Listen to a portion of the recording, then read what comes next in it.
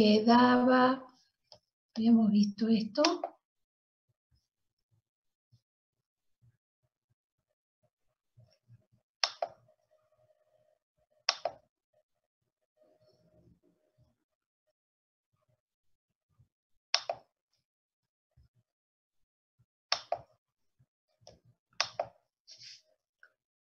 Bien, habíamos visto esto.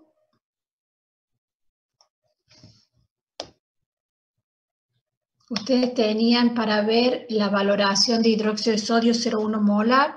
Eso les queda a ustedes. Bueno, lo que vamos a ver hoy es eh, la valoración de ácido débil.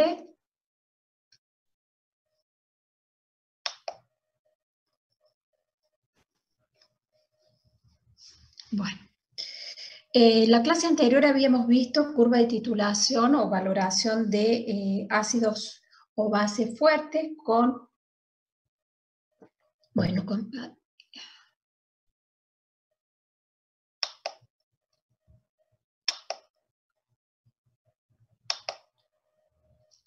Bueno, no me di cuenta y justo hice la idea de esta reunión con sala de espera, así que por eso no, no ingreso, no empiezo porque me está, me está generando me está avisando que hay gente en sala de espera. Bueno. Em, lo que vamos a ver hoy es valoración de ácidos débiles, bases débiles. Eh, no sé si recuerdan cuál es la diferencia entre un ácido fuerte y un ácido débil. ¿Recuerdan cuál es? Si lo pueden escribir en el chat.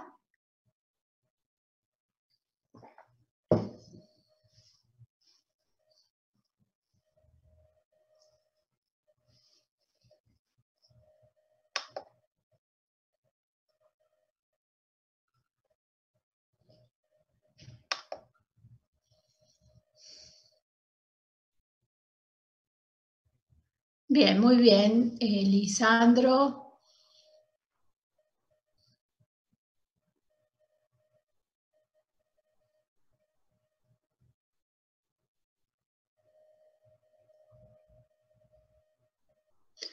O sea, la, eh, cuidado Luciano, no es una K de equilibrio, una constante disociación ácida, ¿verdad? Bueno, o sea que los ácidos fuertes están totalmente disociados, mientras que los ácidos débiles están Em, parcialmente disociados, tiene una constante disociación que lo vemos aquí, o sea, el ácido fuerte eh, está totalmente disociado en su anión y un protón, mientras que un ácido débil, fíjense que después de la disociación tenemos una parte que queda sin disociar y una fracción mucho más pequeña disociada. Esa es la diferencia, o sea, el ácido débil está parcialmente disociado.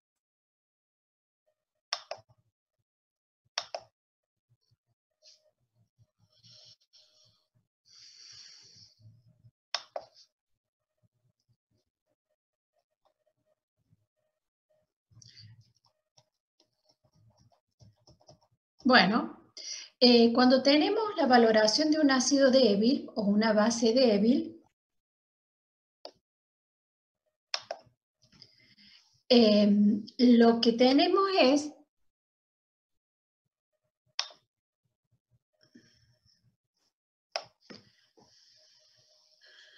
Bueno, lo que tenemos es si tenemos un ácido débil, tenemos el ácido y su base conjugada, es decir, a medida que yo empiece a valorar el ácido, a medida que yo comience a valorar el ácido, me va a aparecer que a, medida que se va neutralizando, aparece la base conjugada. Entonces, esa curva de titulación del ácido de, de este ácido débil, voy a tener la diferencia con respecto a un ácido fuerte, que es lo que vimos en la clase anterior, voy a tener primeramente un pH ácido, luego va a, venir una zona de amortiguador formada por el ácido y la base conjugada, y después voy a tener una zona, eh, voy a tener, digamos, una zona, un punto de equivalencia y una zona de exceso de base.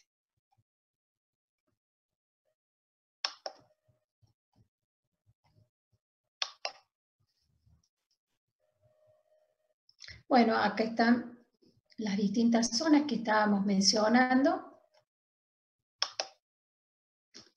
El pH inicial lo fija la constante disociación del ácido de la base, que ya como estuvimos viendo está parcialmente disociado. En la zona 2 es lo que forma el amortiguador entre el ácido y la base conjugada y en el punto de equivalencia, digamos, lo que todo el ácido se transformó en la base conjugada. Entonces, en el punto 3, ¿qué vamos a tener? ¿Cómo calculo el pH en el punto 3, que sería el punto de equivalencia?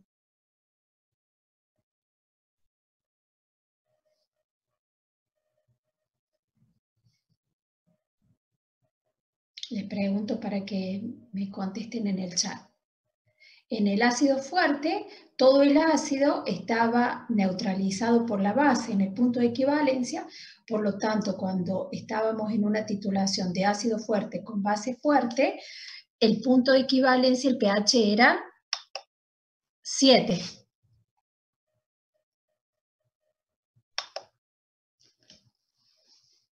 En este caso,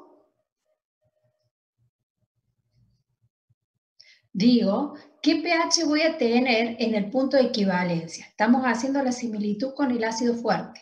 En el ácido fuerte, todo el ácido reaccionaba con la base y eh, el pH en el, punto de equivalencia era neutro, porque no teníamos hidrólisis ni de las, de las bases, digamos, de, la, de la base conjugada. En este caso, que tengo un ácido débil, ese ácido débil se neutral, digamos, reacciona con la, con la, con la base y todo el ácido se transforma en la base conjugada.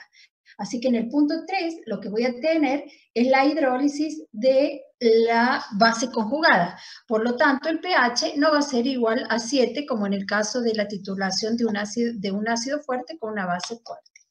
Esa es la principal diferencia. Acá lo estamos viendo en esta gráfica.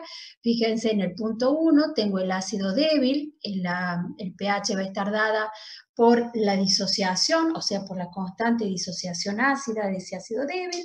Después, a medida que empiece a agregar base, voy a tener la zona del amortiguador. Fíjense que acá eh, hay una zona de cambio de curvatura en esta curva, ¿sí? que es un punto característico que se denomina punto de, inflexión. Eh, ese punto de inflexión, generalmente el pH, es igual a la, a la constante disociación ácida, al pK de la constante disociación ácida. En el punto de equivalencia, en el punto de equivalencia lo que voy a tener es la hidrólisis de la base conjugada y este, el pH va a estar regido por esa, por esa hidrólisis.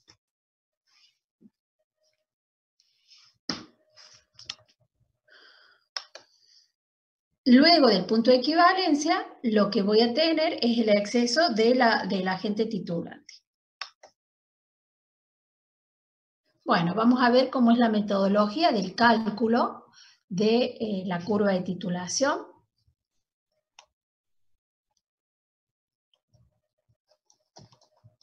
Bueno, acá tenemos, dice aquí cálculos aproximados. O sea, lo que nosotros vamos a tener es la constante de disociación ácida, que va a ser igual a la constante, que la concentración de eh, la base conjugada por la concentración de protones dividido la concentración de ácido. En la primera zona, o sea, antes de llegar al punto de equivalencia, el pH inicial, lo puedo calcular en función de la constante de disociación ácida y puedo hacer cálculos aproximados si la concentración del ácido dividido la constante de disociación ácida es mayor que 100. Si se cumple esto, ya vamos a ver que puedo realizar cálculos aproximados, es decir, no, eh, puedo realizar cálculos sin tener en cuenta las ecuaciones exactas. Eh, en la, a medida que voy agregando bases, se va formando el par ácido-base conjugada y en este caso, si la relación entre el ácido y su Ka es mayor a, a 100, puedo utilizar la ecuación de Henderson que me permite calcular el pH como pH igual a pKa más el logaritmo de la base conjugada sobre la concentración del ácido. ¿Cuándo voy a poder utilizar la ecuación de Henderson? Cuando esta relación sea mayor que 100 o digamos, cuando no se puede utilizar la ecuación de Henderson, cuando la solución está muy diluida o bien cuando la constante de disociación ácida sea mayor que 10 a la menos 3. Si la constante de disociación ácida es mayor que 10 a la menos 3, lo que significa es que ese ácido no es tan débil. Entonces quiere decir que hay, hay bastante que va a estar disociado. En el punto de equivalencia, eh, lo vamos, todo el ácido se transforma en, en, la base conjugada y el pH lo vamos a calcular por la hidrólisis y después del punto de equivalencia el pH va a estar dado por el exceso de la base. Bueno, acá tenemos las ecuaciones que nos permiten calcular la curva de titulación. Fíjense aquí, el pH inicial, si yo tengo esta, este ácido expresado como HA, este, esta especie se va a disociar en su base conjugada más un protón. Entonces, si yo puedo usar cálculos aproximados, el pH lo voy a calcular como la raíz cuadrada de la constante de disociación ácida por la concentración analítica del ácido. Esto siempre y cuando, como ya dijimos, la relación entre la concentración del ácido y la constante de disociación ácida sea mayor que 100. Eh, si no se cumple esta condición, lo que voy a tener que hacer es em, resolver una ecuación cuadrática que me permita calcular el pH. Antes del punto de equivalencia ya dijimos que se forma el par ácido-base conjugada, ácido, ácido base, eh, ácido base conjugada, es decir, se forma un buffer. En este caso, como ya dijimos, si la relación es de concentración ácida sobre la Ka es mayor a 100, eh, puedo usar cálculos aproximados y puedo utilizar la ecuación de Henderson. Entonces, esta ecuación de Henderson, tengo que calcular la concentración del par ácido-base, cuánto se me genera de base, y de ácido me queda sin valorar. Eso es como ya lo hemos visto, ¿no es cierto? esta concentración sería la concentración más bien analítica, que es eh, los moles iniciales de ácido menos los milimoles de base que agregué, dividido el volumen total. Recuerden que en esta transparencia tienen que reemplazar normalidad por... Em, em, tienen que cambiar normalidad por molaridad.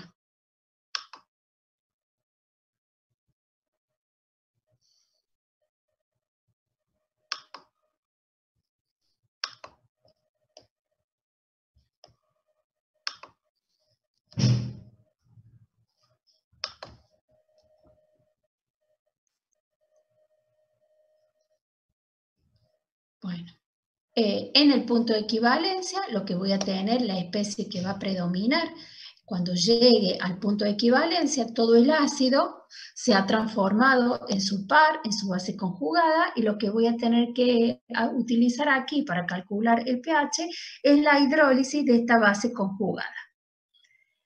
Después del punto de equivalencia, las especies que me van a quedar es la base conjugada, que está formando una sal, más el exceso de base que agregué. Bueno, acá tenemos, eh, dice, construya la curva de valoración de 100 mililitros de ácido benzoico 0,1 molar con hidróxido de sodio 0,1 molar que se valora eh, con hidróxido de sodio 0,1 molar y em, ácido benzoico.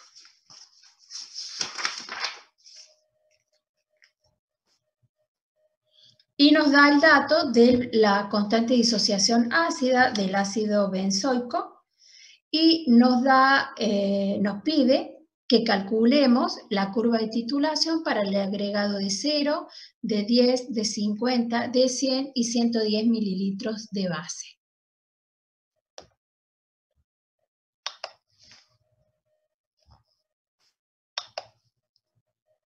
Bien, bueno, lo primero que vamos a hacer aquí, tenemos 100 mililitros de ácido benzoico, 0,1 molar, que se valoran con un hidróxido de sodio 0,1 molar. Lo primero que hacemos es escribir la reacción de neutralización entre el ácido benzoico y la base, que es hidróxido de sodio.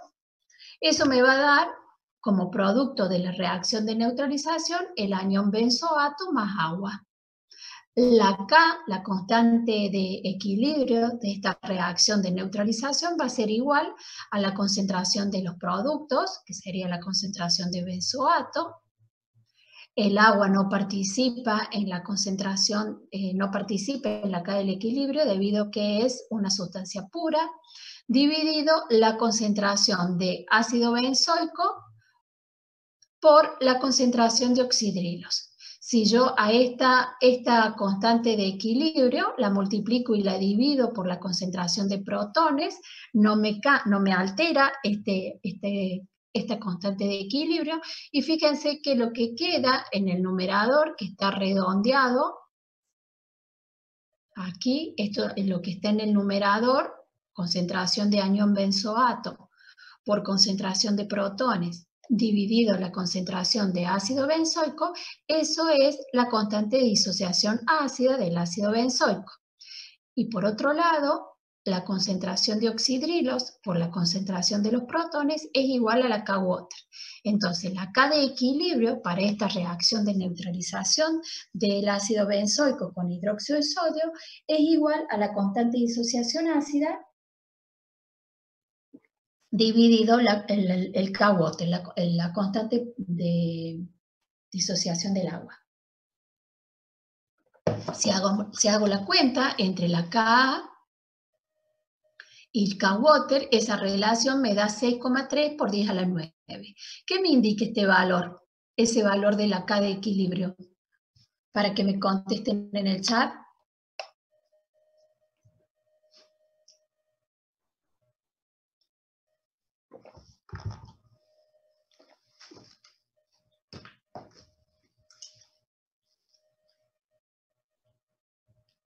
Que expresa ese valor de K de equilibrio de 6,3 por 10 a la 9.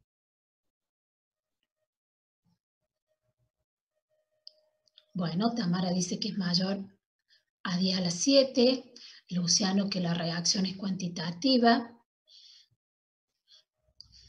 Eh, bueno, lo que podemos decir que con ese valor de constante de equilibrio, eh, que es mayor a 10 a la 7, podemos decir que la reacción se completa, o sea que el analito se transforma en un 99,9% en el producto, o lo que es lo mismo, otro, otro término que se suele usar, es decir que esta valoración es factible.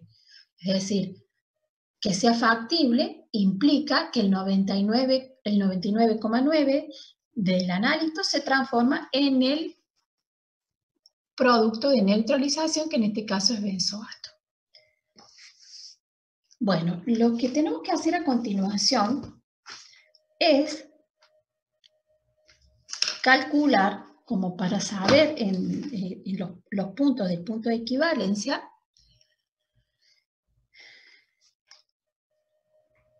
es calcular el volumen en el cual llego al punto de equivalencia. Entonces, lo que esta cuentita que está escrita aquí, fíjense que la estequiometría es uno a uno entre el ácido y la base. Entonces, si yo tengo que valorar 100 mililitros de ácido benzoico, que es 0,1 molar, y lo voy a valorar con una solución que es 0,1 molar. Este es un ejemplo, justamente el ácido y la base tienen la misma concentración, pero no, no siempre es así.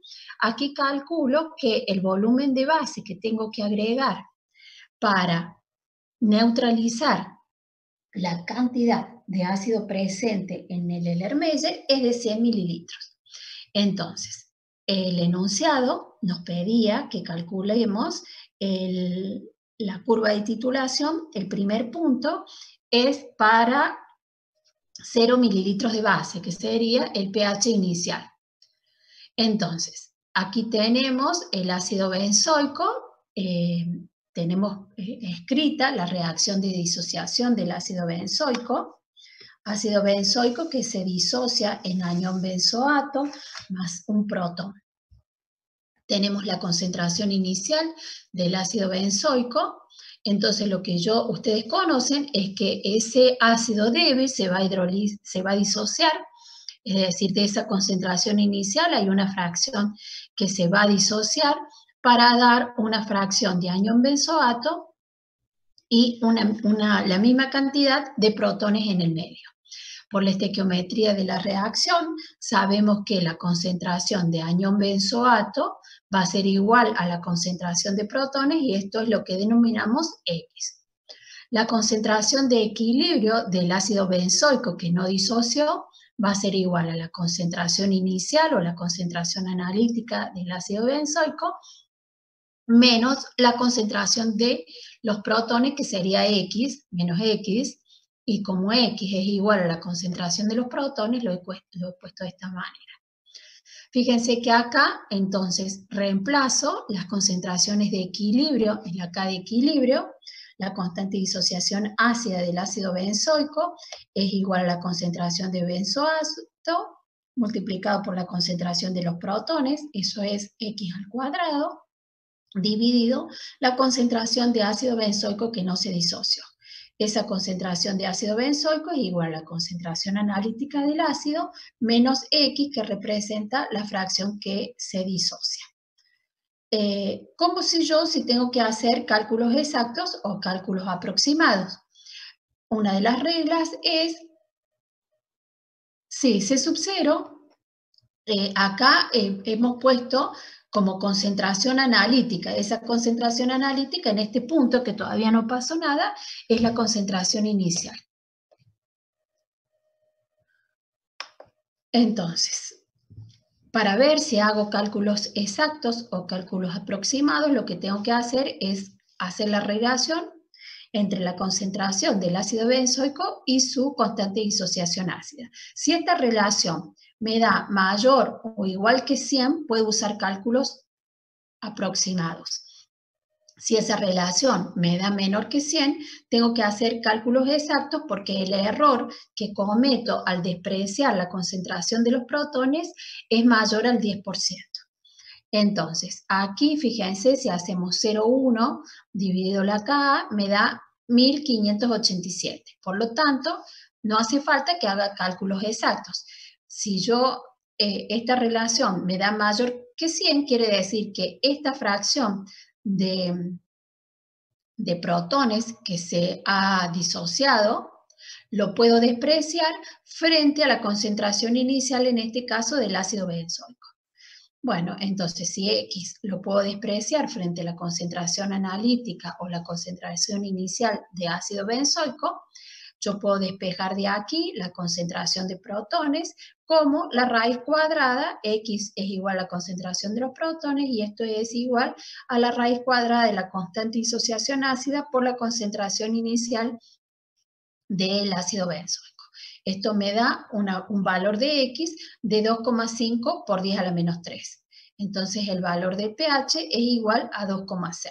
Ustedes aquí pueden corroborar que si yo restara 2,5 por 10 a la menos 3 frente a 0,1 prácticamente no afecta. Es por eso que se justifica despreciar la concentración de X frente a la concentración inicial. Si no lo hubiera podido despreciar porque esta relación no me da mayor que 100 o porque el ácido no es tan débil, que tiene una Ka mayor que 10 a la menos 3, tendría que haber em, resuelto esta ecuación cuadrática que me, que me queda si paso este término al otro miembro.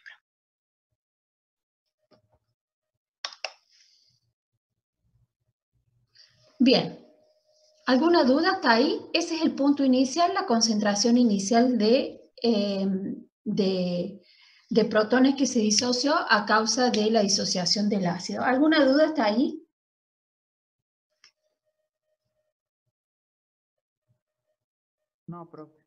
Bien, continuamos. Entonces, ahora el otro punto es para el agregado de 10 mililitros de base. decimos, planteamos la reacción de neutralización, ácido benzoico más la base, esto me va a generar el benzoato más agua. Ahora sí, ya tengo, digamos, el par, ya mm, el buffer constituido por el, ácido, benzoico que queda sin reaccionar, y la base conjugada que se forma eh, debido a la reacción de neutralización. Bien, entonces, ¿qué especies tengo en el medio? Tengo ácido benzoico, o sea, después que yo agregué los 10 mililitros de base, tengo ácido benzoico que queda sin reaccionar y la base conjugada que es el anión benzoato. Entonces, el ácido benzoico que me queda sin reaccionar puede disociarse en el agua para dar el anión benzoato y un protón. Esto tiene una constante disociación ácida de 6,3 por 10 a la menos 5. La base conjugada, que es el anión benzoato, puede hidrolizar con el agua para generar más ácido benzoico y generar aniones hidróxido. La K de hidrólisis para esa reacción de la hidrólisis del ácido benzoico es igual a la K-water sobre la constante de disociación ácida, que es lo mismo que la, la constante la KB,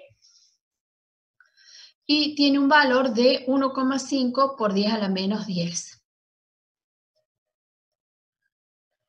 Bien, para poder calcular el pH en esta zona, lo que tengo que hacer es calcular la concentración de ácido benzoico que tengo en el equilibrio. Fíjense, la concentración de ácido benzoico que tengo en el equilibrio va a ser igual a la concentración analítica de ácido benzoico y me fijo en estas dos reacciones que acabo de plantear. El ácido benzoico se puede disociar, ¿sí?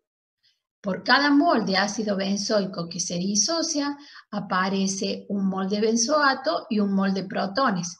Entonces, si parte del ácido benzoico que queda sin reaccionar se me disocia, la concentración en el equilibrio va a disminuir porque está desapareciendo ácido benzoico. Por un mol de ácido benzoico que se disocia, aparece un mol de protones. Entonces aquí le resto, porque está desapareciendo, la concentración de protones, que va a ser una, una forma de cuantificar cuánto ácido benzoico se me está disociando de acuerdo a esta primera reacción. Por otro lado, el anión benzoato puede hidrolizar y cuando un mol de, benzoato hidroliza, genera un mol de ácido benzoico. Entonces aquí tendría que sumar, ¿sí? porque por cada mol de hidróxido, aparece un mol de ácido benzoico, tendría que sumar la concentración de aniones oxidrilos.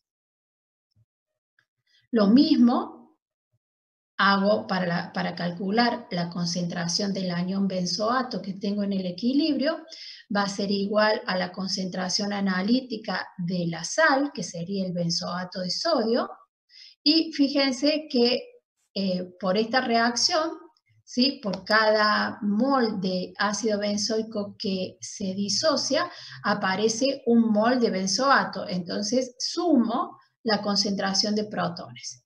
Y por cada mol de benzoato que hidroliza, ¿sí? aparece un mol de oxidrilo. Entonces aquí le restaría la concentración de oxidrilos en el en el equilibrio. Bueno, fíjense que ahí la concentración de equilibrio tanto del ácido benzoico como del anión benzoato me queda en función de las concentraciones analíticas de las dos especies y en función de los protones del medio y de los oxidrilos. Fíjense que el pH inicial nos dio un valor de pH de 2,6. Estamos en un medio ácido. Entonces, como el medio es ácido, yo puedo, yo puedo este, despreciar la concentración de oxidrilos porque va a ser eh, mucho menor que 10 a la menos 7, porque estoy en un pH ácido. Entonces, la concentración de oxidrilo la puedo este, despreciar Y la concentración en el equilibrio, considerar, acá eh, podemos expresar la constante disociación ácida del ácido benzoico como la concentración de benzoato en el equilibrio, que va a ser igual a la concentración analítica de benzoato, más la concentración de protones en el equilibrio, multiplicado por la concentración de protones, dividido la concentración de eh, ácido benzoico, que va a ser igual a la concentración analítica menos la concentración de protones. Esta ecuación me permite calcular, ¿no es cierto?, la concentración de protones de forma exacta. Además, si la concentración analítica del ácido dividida la K, la constante de disociación ácida, es mayor que 100, yo puedo utilizar lo que se denomina la ecuación de Henderson. ¿Qué significa utilizar la ecuación de Henderson? Es despreciar la concentración de protones frente a la concentración analítica de eh, benzoato y ácido benzoico. Como nosotros ya vimos en la, en la transparencia anterior, que la relación entre la concentración del ácido y la Ka me daba mucho mayor que 100, en este caso puedo utilizar la ecuación de Henderson y escribir, calcular el pH como pKa más el logaritmo de concentración de benzoato sobre concentración de ácido benzoico. En este caso, esas concentraciones analíticas, ¿sí? Eh, estas concentraciones eh, en el equilibrio las puedo reemplazar directamente por las concentraciones analíticas porque voy a despreciar la concentración de los protones frente a los valores de las concentraciones analíticas. Eso lo hago teniendo en cuenta la relación entre la concentración inicial de ácido benzoico y la Ka. Entonces, ¿qué hago aquí? Aquí calculo la concentración analítica del ácido benzoico. Si yo agregué 10 mililitros de base, ¿cuánto benzoato se me va a formar? 10 mililitros, lo que digamos va a ser, lo que se me va a generar, tiene que ver con los milimol, con los mililitros de base que agregué. 10 mililitros de base por 0,1 molar, que es la molaridad de la base, y están en 110 mililitros de solución. Eso me da una concentración analítica de anión benzoato de, acá lo vamos a dejar como 1 sobre 110.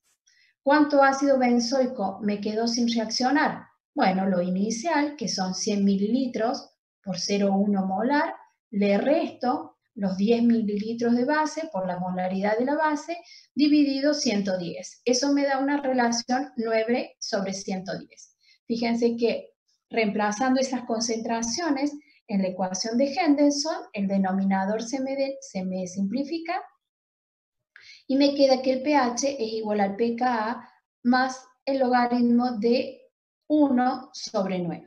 Esto me da un pH de 3,24. ¿Alguna duda hasta aquí?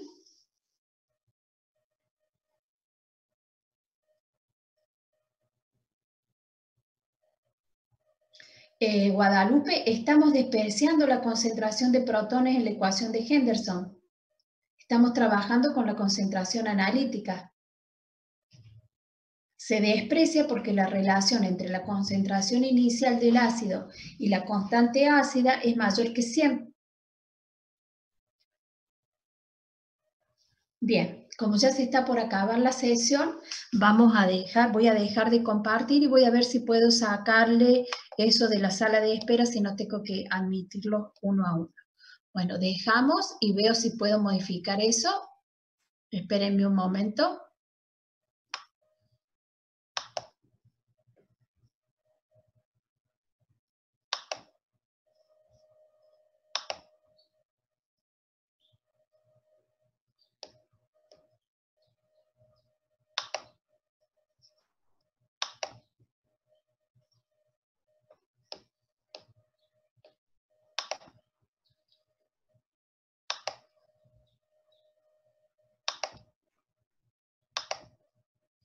Bueno.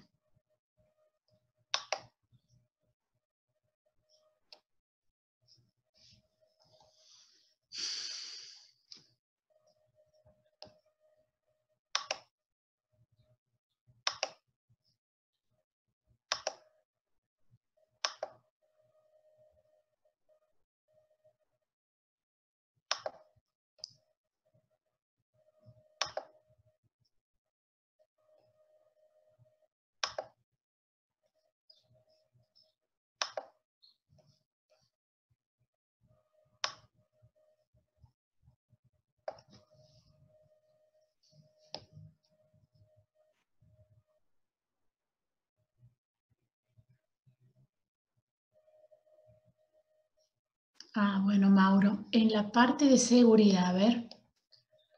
Ah, bien, bárbaro. Gracias.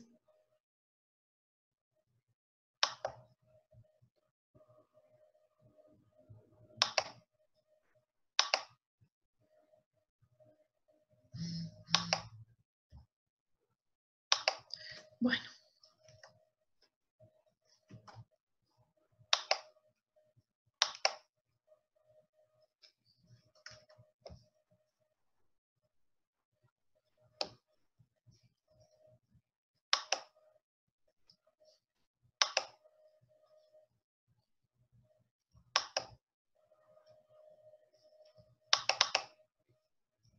Bien. Acá me preguntan que vuelvo a explicar.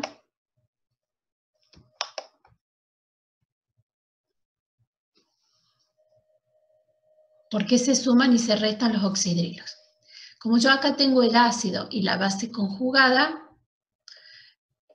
cuando agregué 10 mililitros de base me va a quedar una parte de ácido sin neutralizarse y a su vez se me genera la base conjugada, que sería la sal del benzoato de sodio. Por un lado, el ácido que me queda puede disociarse de acuerdo a su constante disociación ácida y por otra parte, el anión benzoato puede hidrolizar a través de esta ecuación que es la 2. Entonces, para yo poder calcular el pH de la titulación, el pH de, en ese punto,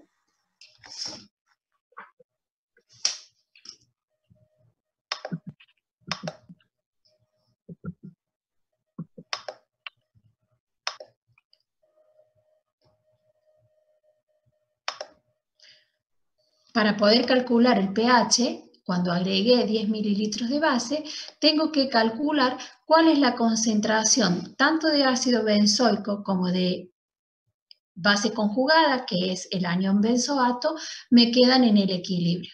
Esas concentraciones son igual a la concentración analítica, que es la, la cuentita esta que hemos hecho acá, cuánto anión benzoato y cuánto ácido benzoico me queda sin, eh, cuánto ácido benzoico me queda sin reaccionar y cuánto anión benzoato se generó, ¿sí? Sin interesarme en los equilibrios que están participando. esa es la concentración, esa es la definición de concentración analítica. Entonces, para, el, para calcular la concentración de ácido benzoico en el equilibrio va a ser igual a su concentración analítica, pero ahora tengo que tener en cuenta estas dos reacciones que están involucradas ahora en, en el medio de la reacción, porque tengo tanto la disociación del ácido como la hidrólisis de la base conjugada. Entonces, fíjate que por un mol de ácido benzoico se genera un mol de anión benzoato y un mol de protones. Entonces, si parte de, esa, de ese ácido benzoico que yo tengo en el medio se hidroliza, por cada mol de ácido benzoico que hidrolice se va a generar un mol de protones. Entonces, ¿cómo, lo, ¿cómo calculo la concentración de ácido benzoico en el equilibrio? Va a ser igual a la concentración analítica menos los protones que tengan en el medio, porque esos protones que tengas en el medio van a venir de la disociación del ácido benzoico que queda sin reaccionar. Por otro lado, el anión benzoato que tenés en el medio, producto de la neutralización, se puede hidrolizar. Por cada mol de anión benzoato se te va a generar un mol de oxidrilos. Entonces, por cada mol de benzoato que se hidrolice se genera un mol de ácido benzoico y un mol de oxidrilo. Estas dos concentraciones son iguales. Entonces, por cada mol de benzoato que hidrolice se va a generar un mol de ácido benzoico. Entonces, por eso pongo más la concentración de oxidrilo que tenga en el medio. Por otro lado, la concentración de, en el equilibrio del benzoato va a ser igual a su concentración analítica y fíjate que em, por, esta, por la primera reacción se genera benzoato en la misma concentración que protones tenga el medio. Por eso lo sumo a la concentración analítica. Y en la segunda, por cada mol de benzoato que hidrolice, se me genera un mol de oxidrilo. Por eso ahí resto los oxidrilos. Como estoy en un pH ácido, fíjate que nos dio un valor de 3,24, la concentración de oxidrilos la puedo despreciar porque va a ser un valor mucho más pequeño que 10 a la menos 7. 10 a la menos 7 es el valor que tiene cuando el pH es 7. La concentración de protones es igual a la concentración de oxidrilos. Como estoy en un pH ácido, esa concentración va a ser mucho menor que 10 a la menos 7. Entonces lo desprecio. De tal manera que me queda como aproximado que la concentración del ácido benzoico es igual a su concentración analítica menos la concentración de protones y la concentración en el equilibrio de benzoato va a ser igual a la concentración de la sal más la concentración de protones. Como eh, la relación entre la concentración analítica del ácido y la Ka me da mayor que 100, puedo utilizar la ecuación de Henderson que es esta que está escrita aquí, y lo que hago en la ecuación de Henderson es despreciar la concentración de los protones frente a la concentración analítica, tanto del benzoato como del ácido benzoico. Fíjense que aquí em, la concentración de protones, a ver, es igual a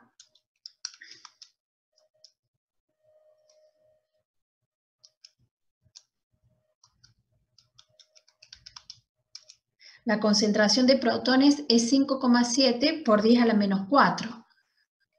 La concentración analítica, recuerden ese valor, la concentración de los protones me da 5,7 por 10 a la menos 4. Y la concentración analítica del ácido benzoico es 9 dividido 110, que me da 0,08. O sea, fíjense acá que si la concentración analítica es 0,08 que le reste 5,7 por 10 a la menos 4, no va a afectar a esta concentración. Por otro lado, la concentración de benzoato es 1 sobre 110, eso me da 9 por 10 a la menos 3, ¿sí? Esto es 9 por 10 a la menos 3, que le sume 5,7 por 10 a la menos 4 prácticamente no va a tener efecto sobre el valor del pH. Entonces, lo que estamos haciendo aquí es este, haciendo un cálculo aproximado del pH utilizando la ecuación de Henderson. Lo que estoy haciendo aquí es reemplazar la concentración del equilibrio tanto del benzoato como del ácido benzoico por sus concentraciones analíticas. Entonces, de esta manera, el pH de la solución me da 3,24. Si yo no hubiera podido despreciar esta concentración de protones frente a las concentraciones analíticas, tendría que haber resuelto esta ecuación cuadrática, ¿sí? me quedaría una ecuación de segundo grado que debería resolverla para calcular el pH. Ustedes si quieren, lo que pueden hacer es, eh, con estas concentraciones analíticas, reemplazarla en, este, en la Ka y, calcular aquí, em, resolver la ecuación cuadrática y calcular la concentración exacta de protones para poder calcular el pH exacto. No va a ser muy diferente del valor que está expresado ahí. ¿Alguna duda hasta aquí?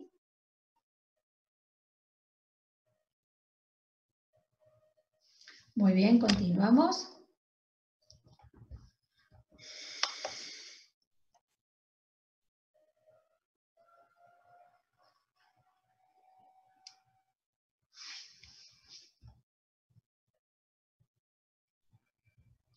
Bueno, dijimos que el punto de equivalencia, ¿sí? Lo teníamos en 100 mililitros de base.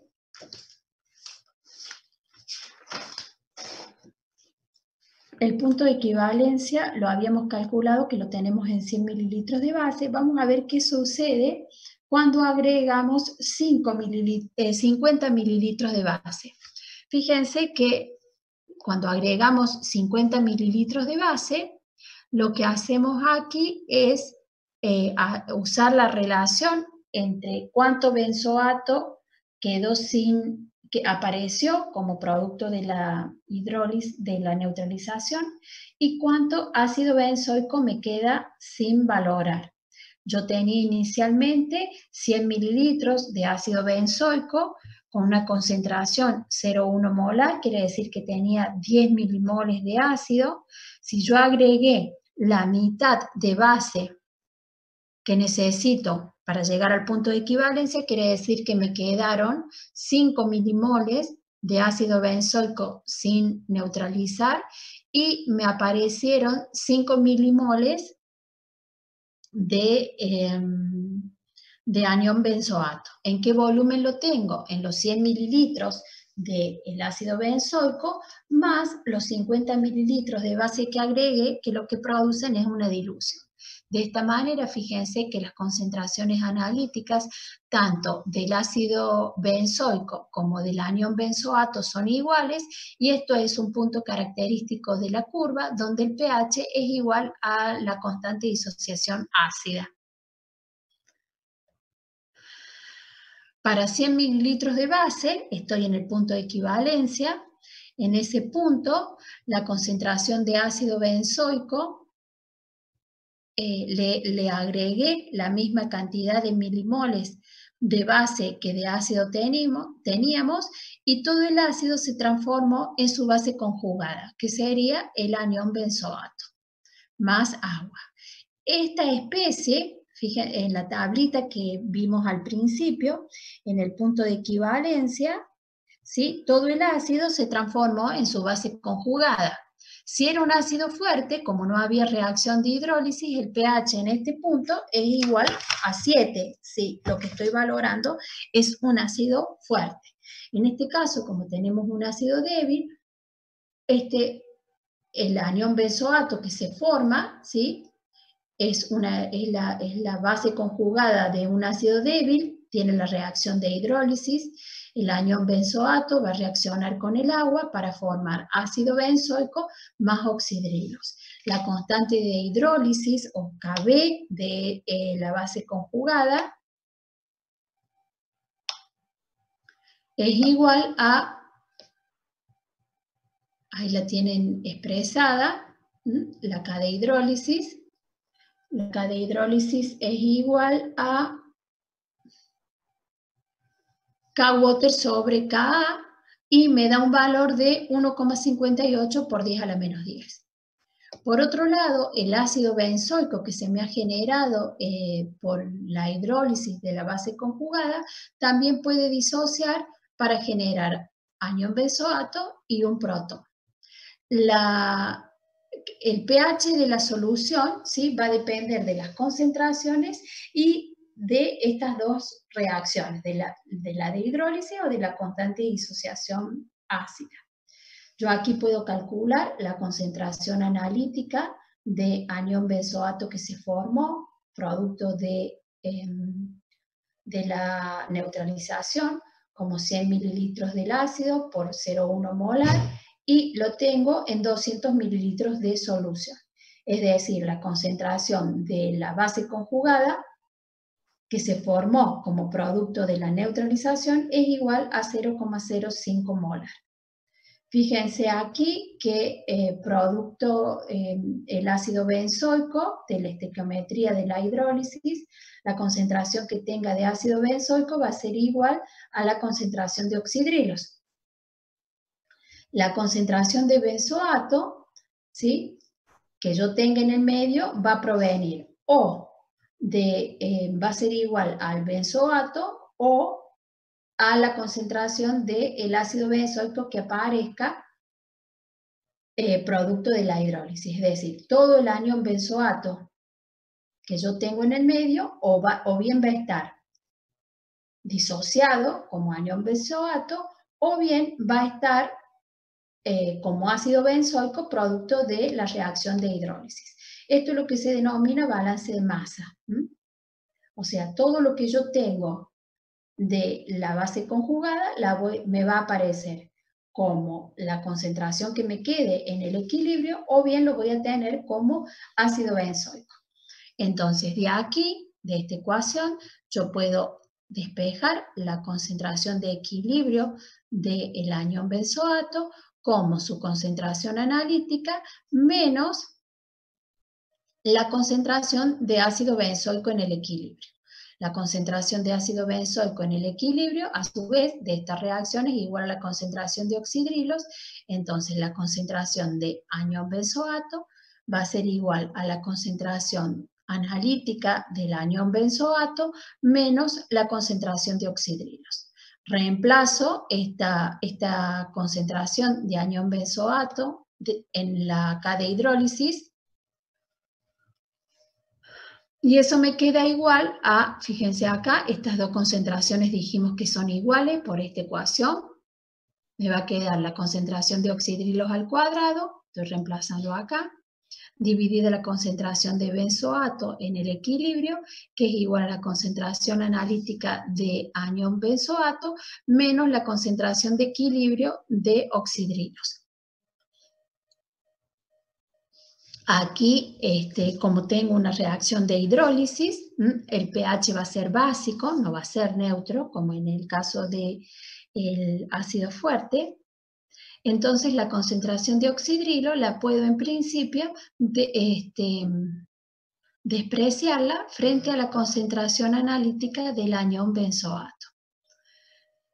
Entonces, la concentración de oxidrilos de la reacción de hidrólisis la voy a poder despejar como la raíz cuadrada por la, K de hidrólisis por la concentración del anión benzoato.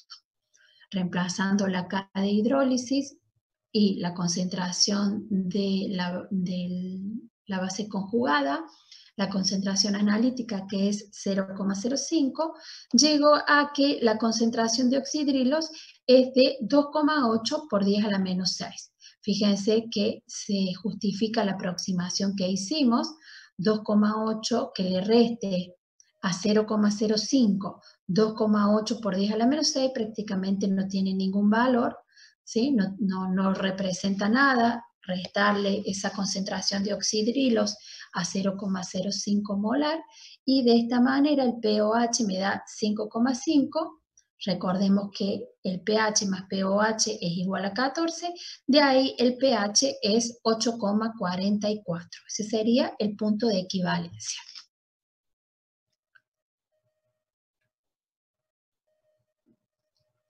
Luciano, eh, cuando está cerca del punto de equivalencia, justamente no podés despreciar la concentración de los protones eh, del, del agua entonces tenés que hacer ecuación cuadrática, ahí no podés despreciar. Cuando estás a unas gotas del punto de equivalencia. En ese punto tenés que hacer balance de masa y balance de carga.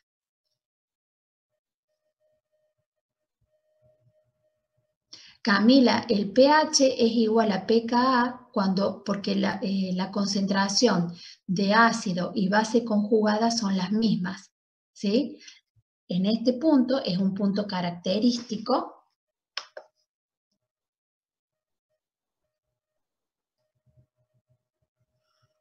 este punto aquí, fíjate que la concentración del anión benzoato es igual a la concentración de ácido benzoico. Entonces aquí en la ecuación de Henderson, estas dos concentraciones son iguales, se te simplifica, te queda el logaritmo de 1 y por lo tanto el pH es igual al pKa. Porque, eh, eh, Camila, la estequiometría es 1 a 1 entre el ácido benzoico y el hidróxido de sodio. Vos tenés como dato que la titulación es de 100 mililitros de ácido benzoico 0,1 molar. Es decir, 100 mililitros por 0,1 quiere decir que tenés inicialmente 10 milimoles de ácido. El punto de equivalencia lo vas a alcanzar cuando agregues 10, 10 milimoles de base, que corresponden a los 100 mililitros que calculamos aquí. ¿Sí? Ahora, ¿en qué punto las estas dos concentraciones se hacen iguales? Si yo tengo 10 milimoles de ácido, ¿sí? Y cuando agregue, cuando la mitad del ácido se haya transformado en su base conjugada. Voy a tener aquí las mismas concentraciones. Eso lo vas a lograr cuando hayas agregado la mitad del volumen necesario para llegar al punto de equivalencia, que eso es lo que corresponde a este punto. Cuando agregaste 50 mililitros de base, por eso lo primero que hicimos, Camila, fue calcular cuántos mililitros de base necesito para llegar al punto de equivalencia. En este caso necesité 100. Con como la estequiometría es 1 a 1, ¿sí? en, en el volumen medio,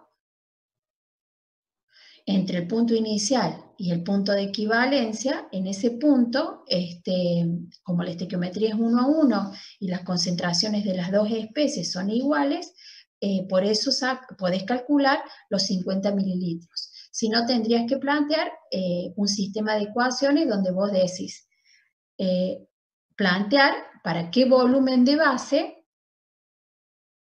para qué volumen de base estas dos concentraciones lo que podrías plantearte es qué volumen de base tengo que agregar para que la concentración de benzoato que se me forma sea igual a la concentración de ácido benzoico que me queda sin reaccionar. Eso lo podés calcular si querés.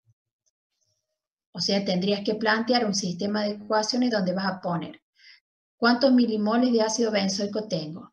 100 por 0,1 tiene que menos el volumen de la base por la molaridad de la base tiene que ser igual a eh, la concentración de benzoato que se forma, que va a ser igual a volumen de base por 0,1. Ahí te queda, si despejas volumen de base, te va a dar 50 mililitros. Eso va a tener que ver también que sea 50 mililitros o el volumen que te dé va a ser función de la molaridad de la base que estés usando. En este caso, el ácido y la base tienen la misma molaridad.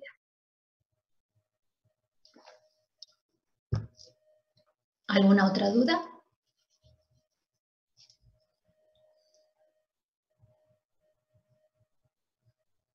Bien.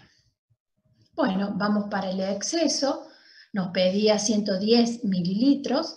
Para 110 mililitros tenemos un, exceso de 10 mililitros de base. La concentración de oxidrilo que me queda en exceso va a ser igual a los mililitros que me, que me pasé del punto de equivalencia, que son 10, por 0,1 y en qué volumen lo tengo. En los 100 mililitros de la muestra inicial más los 110 mililitros de base que agregué. Eso me da una concentración de 4,7 por 10 a la menos 3 de hidroxilos, con lo cual el pH en ese punto equivalente, en ese punto es de 11,67. Acá tienen una tablita de el pH en función de los mililitros de base que se gastaron. Fíjense que este es el punto de equivalencia y este es el punto característico que se denomina punto de inflexión que es el punto donde tenemos la máxima capacidad amortiguadora. Tenemos la misma cantidad de em, ácido que de base conjugada. Los 50 mililitros, Tamara, es el punto donde tenés la misma concentración de ácido que de base conjugada. Entonces te queda que el pH es igual al pKa porque en la ecuación de Henderson te queda el logaritmo, de, logaritmo en base 10 de 1, que es 0.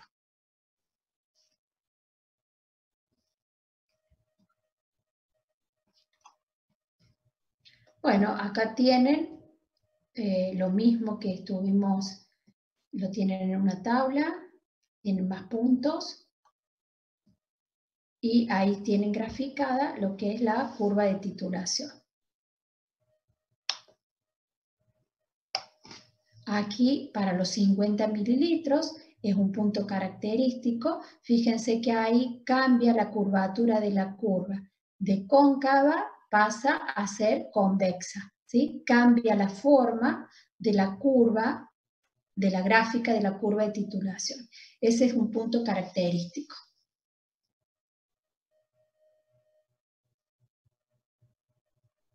No, Tamara, no es la mitad, no lo podés generalizar porque depende del, justamente de lo que les estaba explicando, que tenés que hacer, plantear la igualdad de las concentraciones de ácido y base conjugada.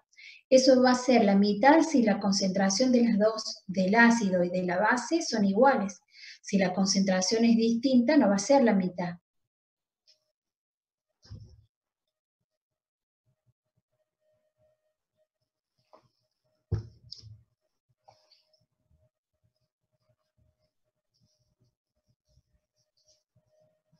Bien.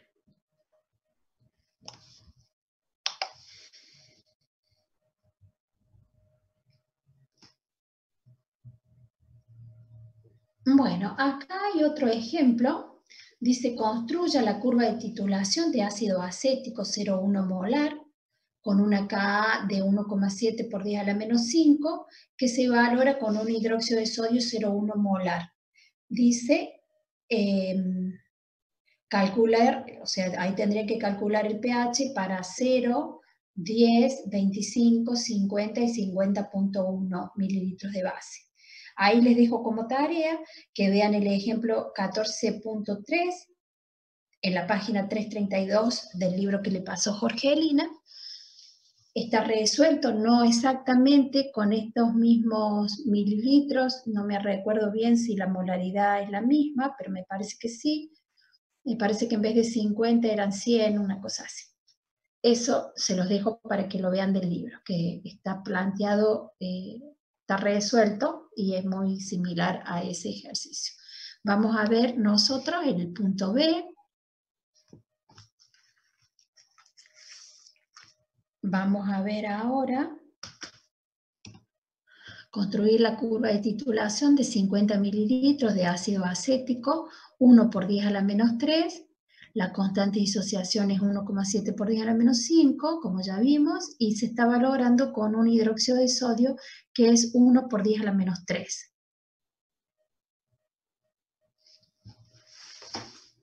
Bueno, calculen el pH inicial ustedes. Ahí, me gustaría que por favor calculen el pH inicial.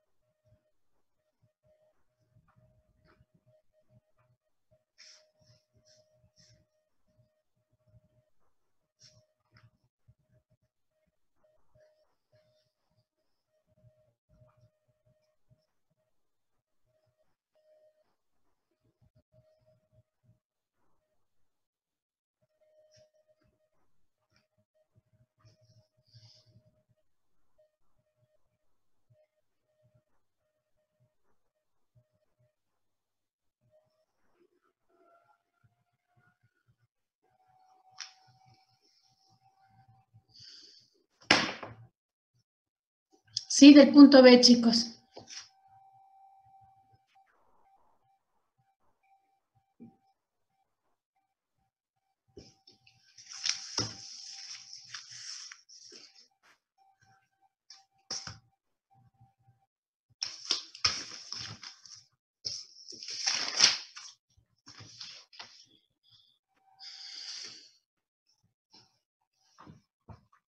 ¿Qué diferencia hay entre 3,88 y 3,91?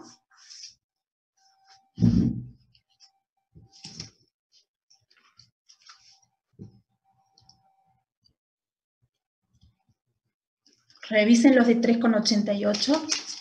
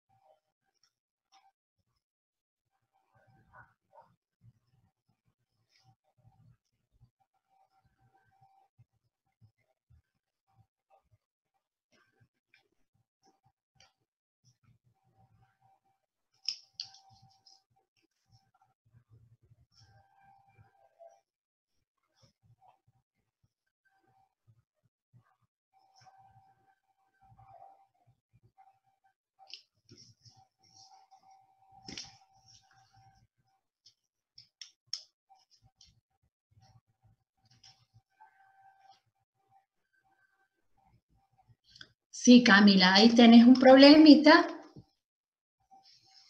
Lo que dice Leo, lo que dice Luciano, si sacas la concentración inicial del ácido sobre la concentración del ácido, justamente este ejemplo está puesto por eso, la concentración del ácido acético es 1 por 10 a la menos 3.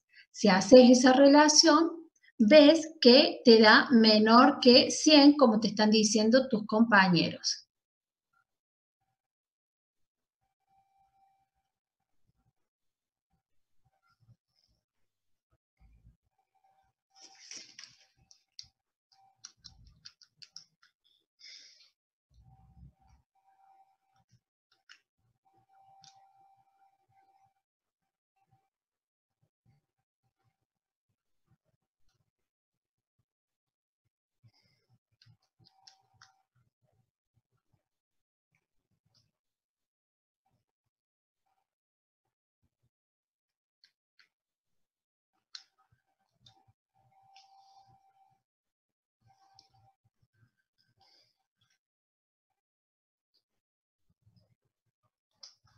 Bueno, fíjense que aquí tienen planteado este segundo ejercicio, 50 mililitros de ácido acético, 1 por 10 a la menos 3, con un hidróxido que es 1 por 10 a la menos 3, la K del ácido es 1,7 por 10 a la menos 5, tenemos planteada la reacción de neutralización entre el ácido acético y la base, que me va a dar el acetato más agua, la K de equilibrio de esta reacción de neutralización es igual a la concentración de acetato dividido ácido acético por la concentración de oxidrilos, multiplico y divido por protones y me da que la K de equilibrio tiene un valor de 1,7 por 10 a la 9, lo que me indica que la reacción entre el analito y el agente titulante se completa.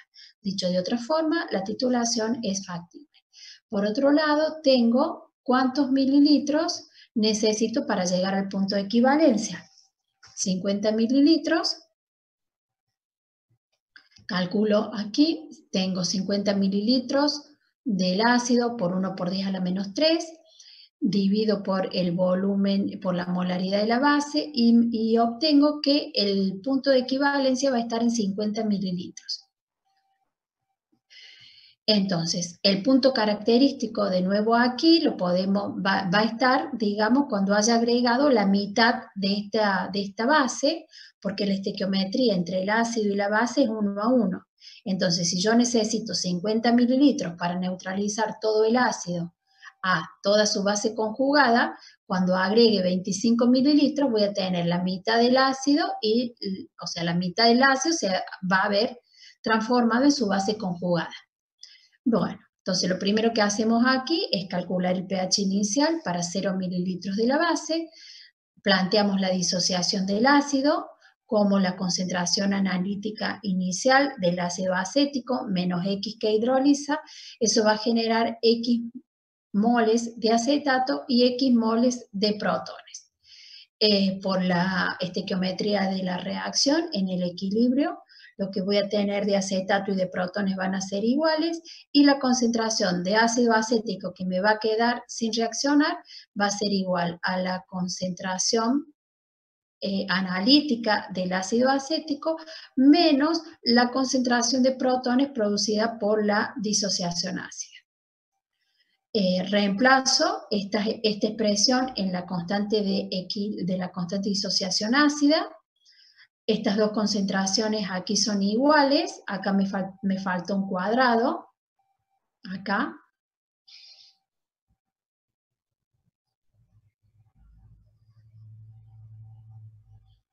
Entonces, acá me queda un cuadrado dividido la concentración de ácido acético que queda sin reaccionar, que es la concentración analítica, menos la concentración de los protones.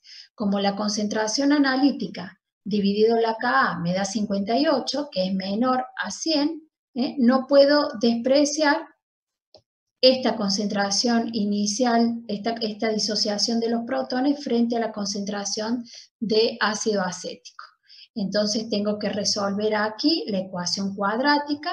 Resolviendo esa ecuación cuadrática, llego a que la concentración de los protones es 1,21 por 10 a la menos 4 y su pH es 3,91.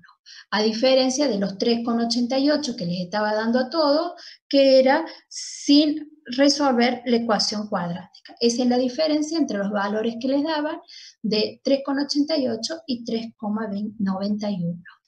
Bueno, como queda un minuto, vamos a dejar esta sala y este, nos volvemos a conectar.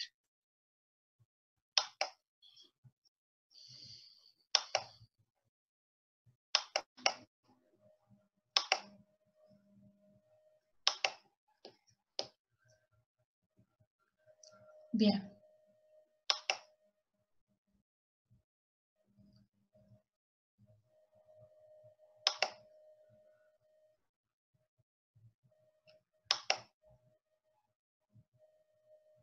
Bueno, entonces estábamos aquí en que la concentración de ácido acético en el equilibrio es igual a la concentración analítica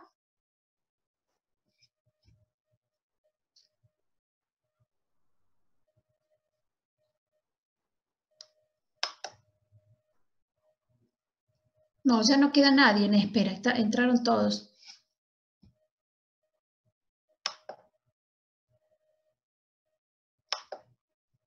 Bien.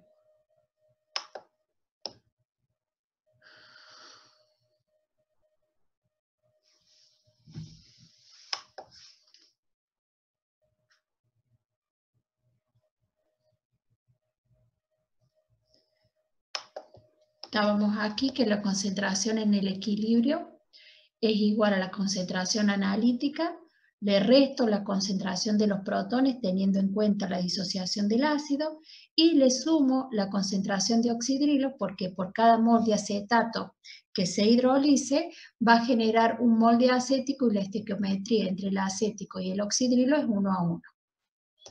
Para el anión acetato, planteo que su concentración en el equilibrio va a ser igual a la concentración analítica. Por cada mol de ácido acético que disocie se genera un mol de acetato, así que por eso sumo la concentración de los protones.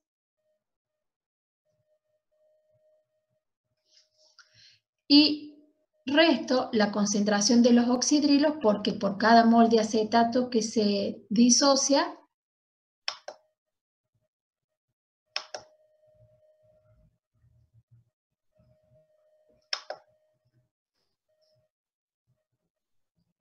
por cada mol que se disocia, em,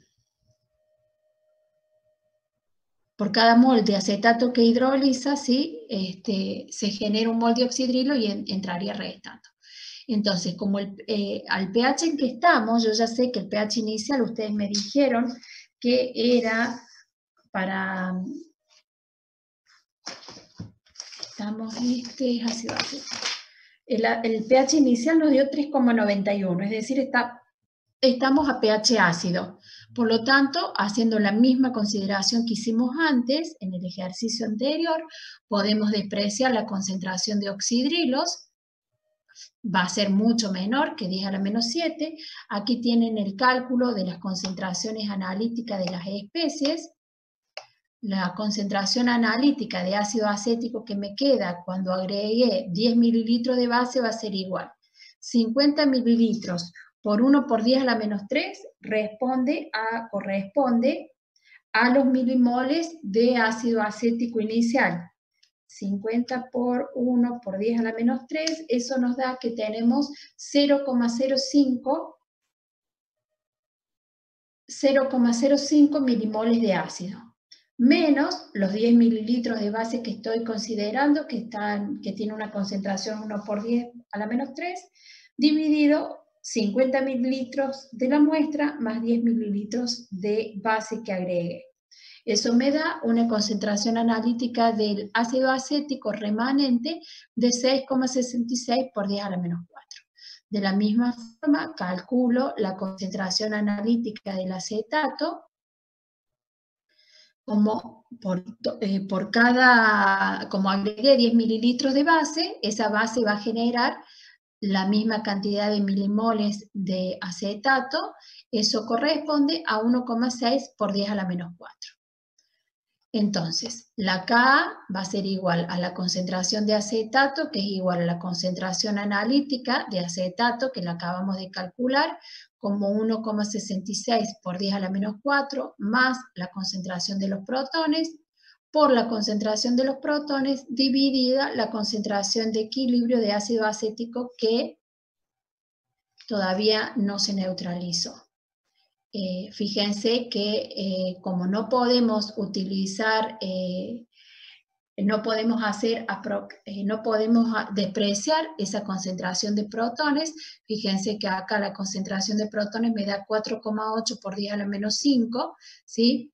Están, es un orden próximo a este valor, y eso lo definí cuando hice en la primera parte del ejercicio, cuando calcule la concentración inicial del ácido sobre la Ka que me dio menor que 100, ahí yo ya sé que tengo que hacer los cálculos exactos. De esta manera, el pH me da 4,31. Para los 25 mililitros de base, ahí hacemos de nuevo las cuentas de la concentración analítica de ácido y de base conjugada que me da para los dos, fíjense que ese es el punto característico, que las dos concentraciones son iguales, y es igual a 3,33 por 10 a la menos 4. Entonces, la concentración de ácido y de base conjugada, de acuerdo a las ecuaciones de equilibrio que presentamos en la transparencia anterior, a esta, a estas dos, teniendo en cuenta eso, eh, reemplazo en la constante de disociación ácida y fíjense que el pH me da 4,8. Mientras que si yo hubiera aplicado la ecuación de Henderson, el pH me hubiera dado 4,76. Esa es la diferencia. Esto es, si hubiera considerado la ecuación de Henderson y esto es haciendo los cálculos exactos.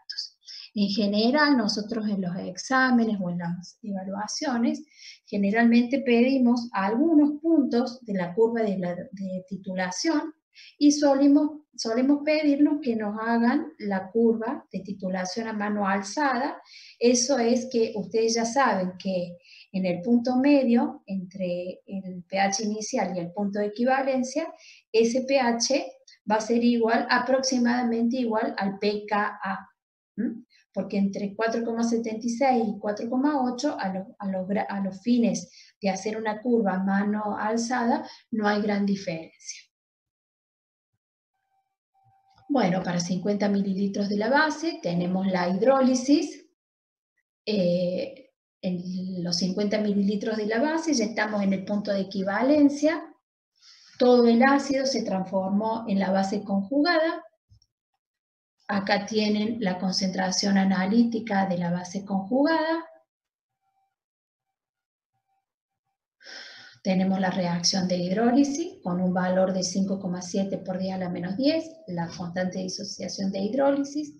Por otro lado, tenemos la disociación del ácido que se genera producto de la hidrólisis. Tenemos las ecuaciones, eh, qué, qué igualdades podemos plantear. Por la hidrólisis del acetato, la concentración del ácido acético y la concentración de oxidrilos en el equilibrio va a ser igual.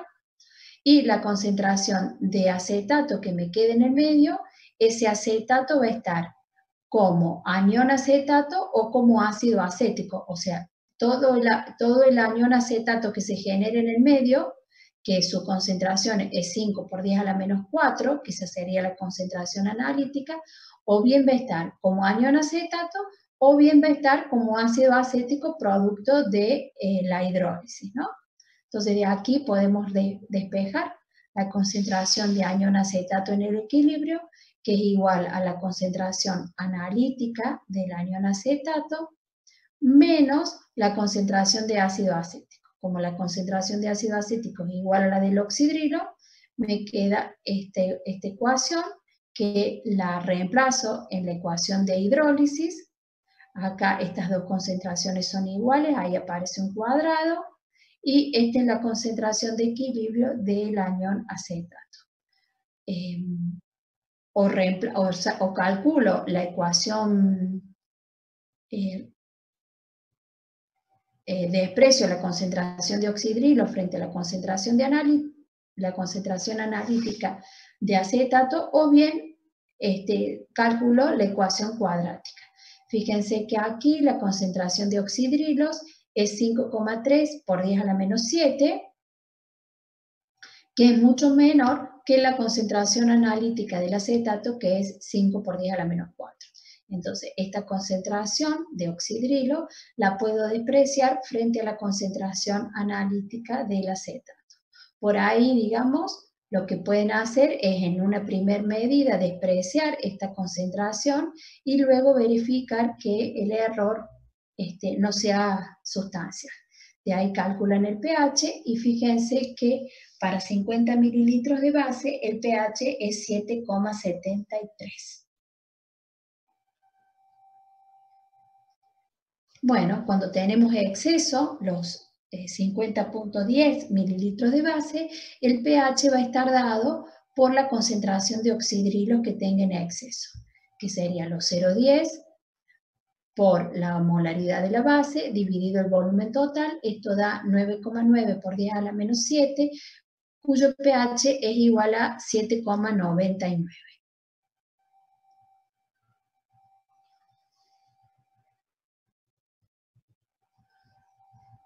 Bueno, fíjense aquí, tenemos, eh, ustedes les queda de tarea ver la curva A, que es una curva más concentrada, y esta es la curva B, que es la que acabamos de desarrollar.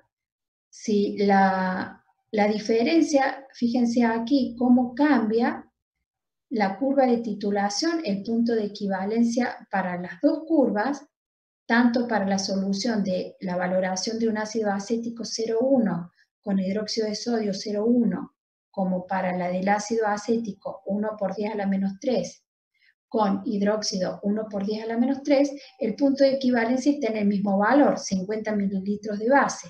Sin embargo, fíjense que el punto de equivalencia difiere. ¿Por qué difiere? Les pregunto para que me contesten en el chat. ¿A qué se debe que el pH en el punto de equivalencia cambie?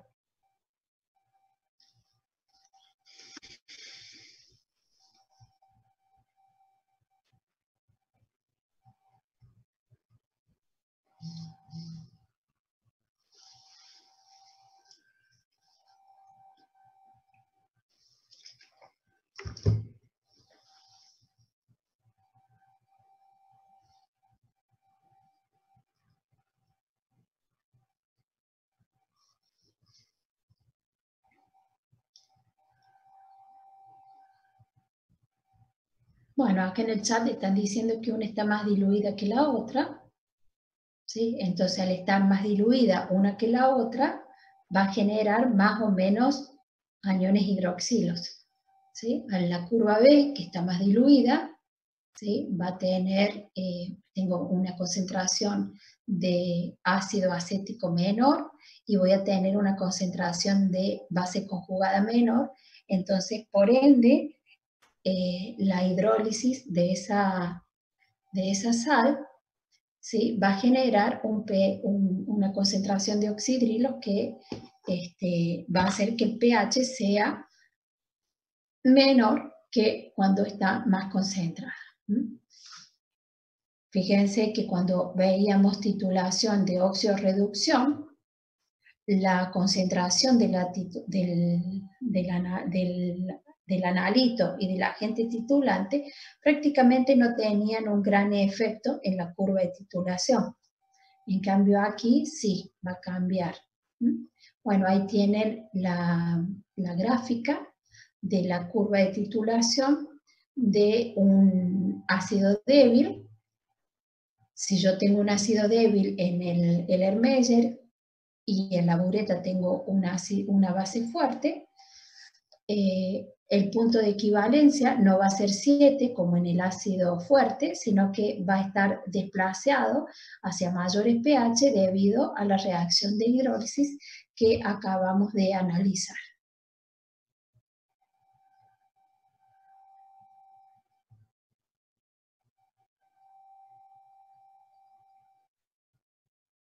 Bueno, ahí tenemos eh, el efecto que tiene ¿sí? La utilización de una solución titulante de distinta concentración. Mientras más diluida sea, menor va a ser el salto después del punto de equivalencia. En este caso es la influencia de la concentración de un ácido débil sobre la forma de la curva de valoración de una base fuerte. O sea, tengo un ácido débil que lo estoy valorando con eh, un ácido débil que lo estoy valorando con una base fuerte. En función de la concentración de la base fuerte, si esa base cambia, la concentración de esa base lo que me va a generar es este, un menor salto cuando sea más diluida. Bueno, aquí tenemos la influencia que tiene el valor del pKa, o sea, la constante disociación ácida, de la valoración de un ácido débil. Fíjense aquí, el ácido fuerte es la primera curva, donde la reacción entre el ácido y la base es, completa porque el ácido está totalmente disociado. A medida que eh, el ácido se hace más débil, fíjense cómo va cambiando la forma de la curva y va a llegar un punto, ¿sí? por ejemplo, en esta de pK igual a 8, donde, o esta vamos al extremo, a, a este ácido que tiene una constante disociación, un pK de 10, prácticamente chicos ahí no se ve salto en la curva de titulación. Para que, esta, para que la titulación sea factible, yo necesito tener aquí un salto en la curva de titulación justamente para poder elegir un indicador que este, sea apropiado para la titulación. Bueno, en esta transparencia tenemos una comparación, una, una, este, sí, una, comparación entre la titulación de un ácido fuerte y la titulación de un ácido débil. Bueno, en el ácido fuerte que tenemos es lo que está escrito con rojo, ¿sí? Tenemos, este sería la reacción entre el ácido y la base,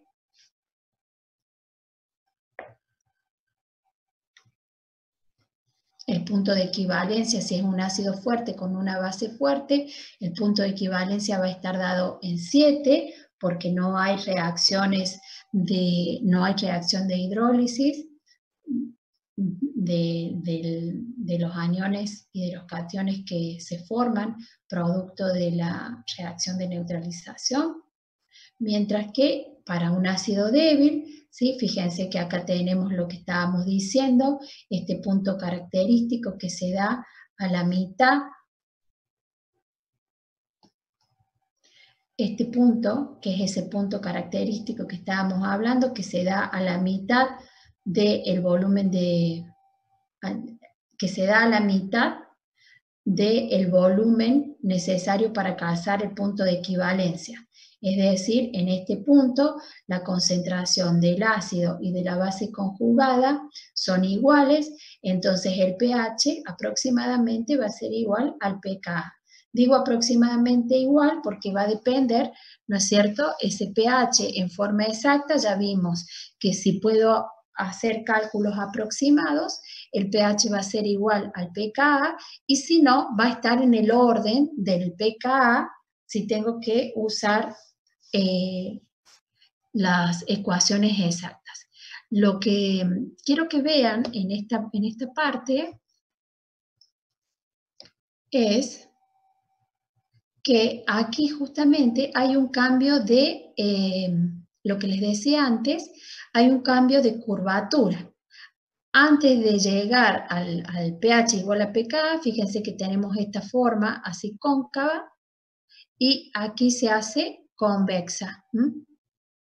Viene cóncava y se hace convexa, es decir, ahí cambia la curvatura. Ese es un punto característico porque ahí justamente cuando hemos agregado la mitad del agente titulante, eh, esa, tenemos en ese punto la máxima capacidad amortiguadora.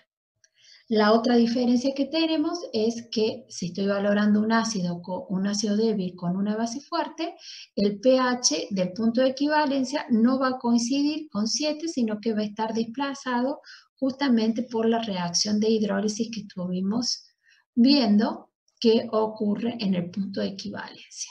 Bueno, entonces en esta gráfica vemos la diferencia en cómo sería la forma de la curva de titulación de un ácido fuerte con respecto a la valoración de un ácido débil.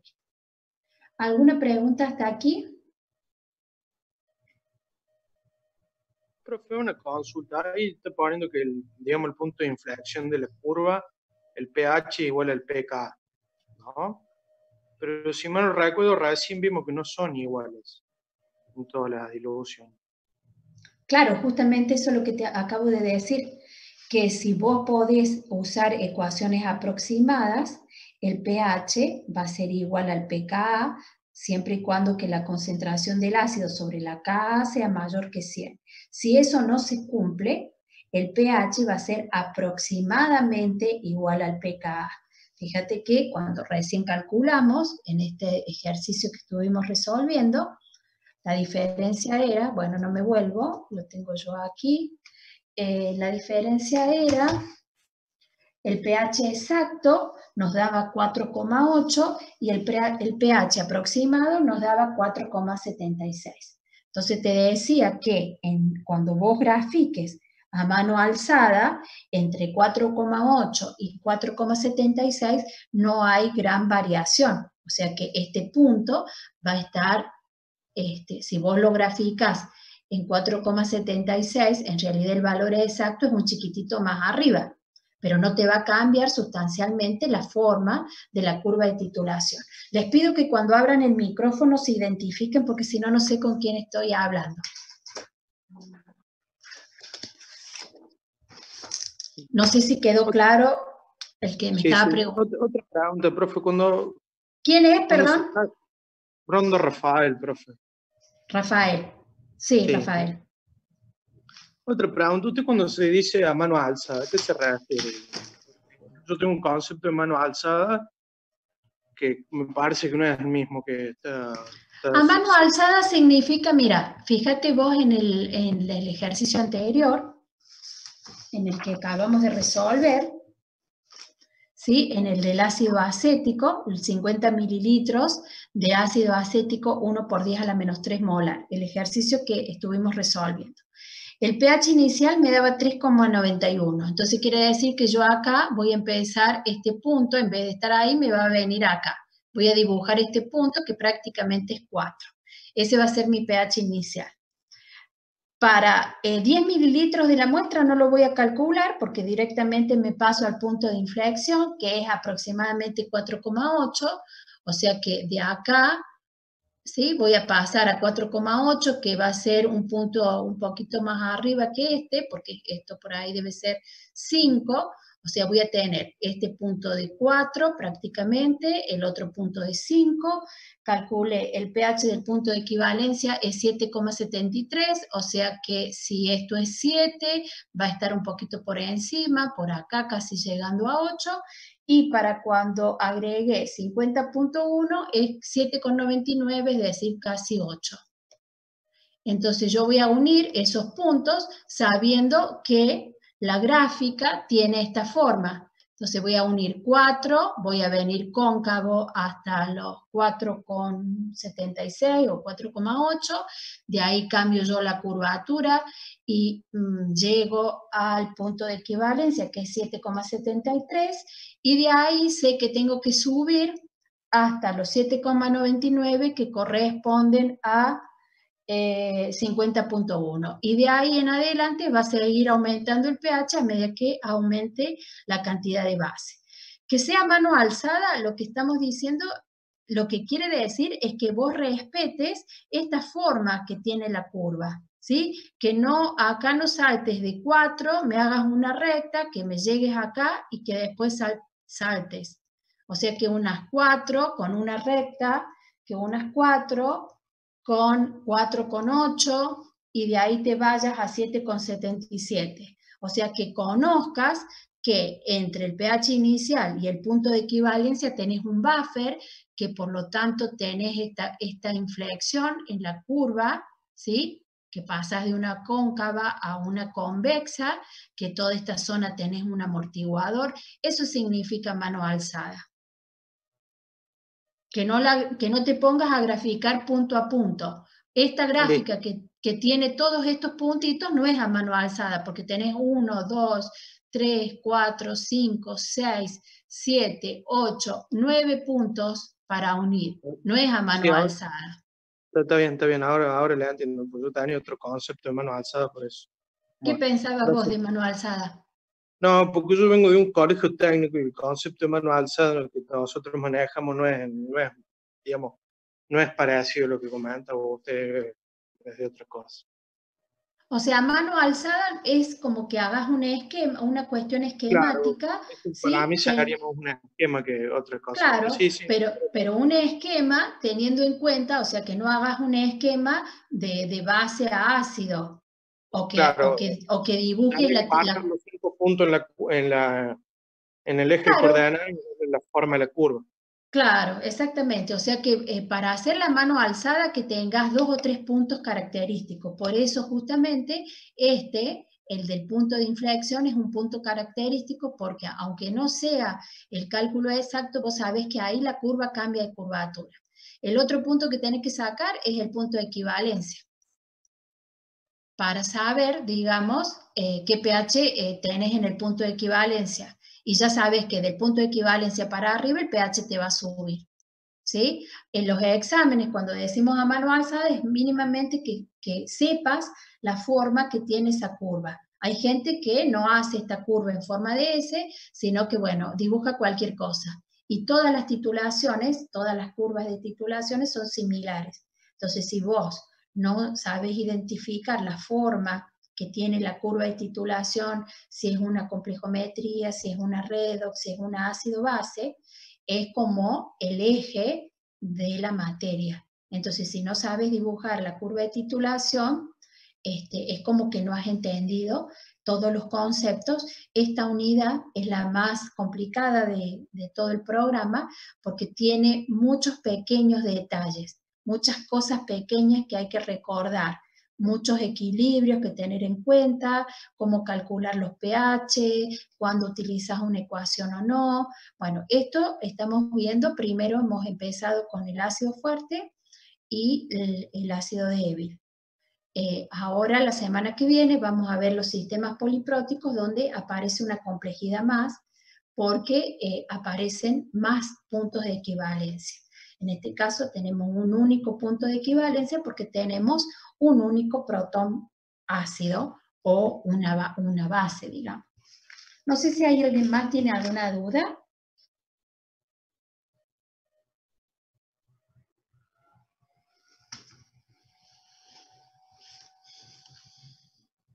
Bueno, acá está lo del corredor de error, lo que vimos en la clase anterior.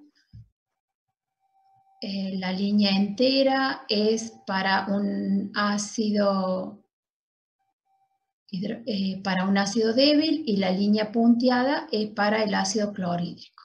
Bueno, igualmente ahí están los corredores de error y cómo seleccionar el indicador, lo mismo que vimos el concepto en la clase anterior, ¿no es cierto? Podemos calcular el corredor de error como el 0,1% eh, del error de la titulación, calcular el volumen antes del punto de equivalencia y después del punto de equivalencia que corresponden a un error de 0,1 y este, calcular estos dos patches y eh, observar los indicadores que viren en ese rango. Los todos los indicadores que viren en este rango ¿sí? Este, van a ser apropiados para, para no cometer un error superior al 0,1%. Bien, si no hay dudas hasta aquí. Bueno, acá eh, tenemos, eh, justamente yo les di dos, eh, las dos valoraciones este, de ácidos. Acá tienen un ejemplo que es construir la curva de titulación de 50 mililitros de amoníaco 0,1 molar con ácido clorhídrico 0,1 molar para una base, ahí tienen la KB de la base, y para una solución Em, de hidróxido de sodio 0,1 molar con ácido clorhídrico 0,1 molar. Em, ahí para, para ayudarse un poquito, para poder resolver este ejercicio, les sugiero que vean el ejemplo 14.4 en la página 337 del SPOOK, del libro que le pasó Jorge. Eh, aquí tienen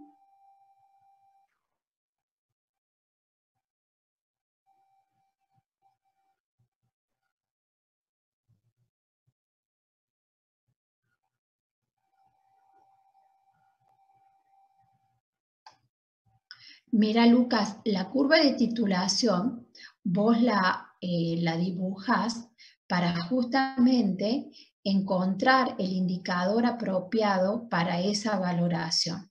Si vos no tenés la concentración de la especie, si no tenés la concentración del, analito, no podés hacer la curva de titulación. La curva de titulación la haces como para ver cómo es la forma que tiene y hacer la elección del indicador apropiado. Lo que nosotros hacemos en realidad en analítica, la curva de titulación la hacemos para calcular, para saber cómo varía la curva y elegir un indicador apropiado. Pero en el laboratorio lo que hacemos es valernos de estas reacciones de neutralización para resolver una situación problemática. O sea, la curva de titulación la calculamos para elegir el indicador. Pero una vez que ya conocemos cómo es aproximadamente la, forma de la curva de titulación y el error que podemos cometer, nosotros lo que vamos a intentar es resolver la composición de una mezcla que puede ser una mezcla ácida o, una sola, o puede estar constituida por una sola especie. Bueno, acá tienen los cálculos para el ítem A, Bueno, y ahí tienen la forma que tendría una, la curva de titulación si valoramos. La línea entera corresponde a la valoración de 50 mililitros de amoníaco 0,1 molar y la línea punteada corresponde a la valoración del hidróxido de sodio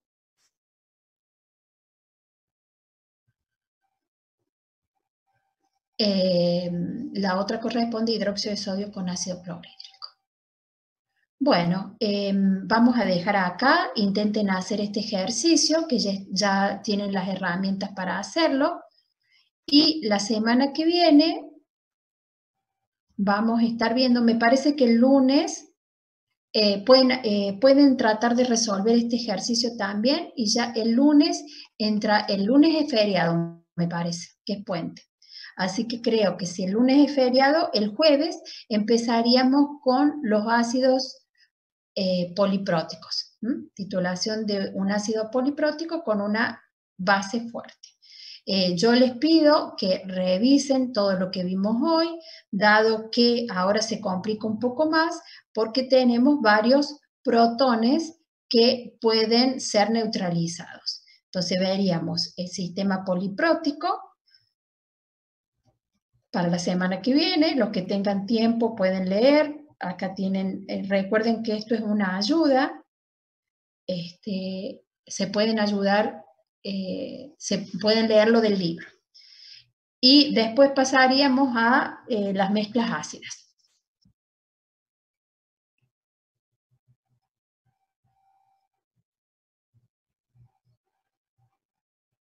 Eh, mira Camila, no tengo una fecha de examen todavía, dado que este sistema que estamos, por el cual les estoy dando la, por, por, lo como lo estamos haciendo eh, virtual, este, lleva bastante tiempo, eh, tanto la, subir todo este material, fíjense que bueno, todo lo que le subí hoy lo tuve que resolver, sacarle foto, eh, recortarlo y pegarlo, lleva mucho tiempo y además tenemos el 9 de junio turno de examen.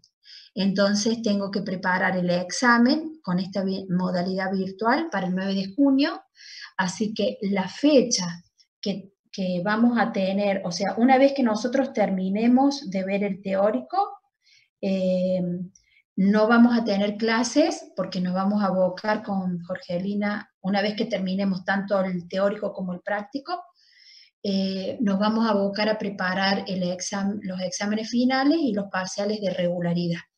Así que una fecha, o sea, va a ser antes que termine el cuatrimestre.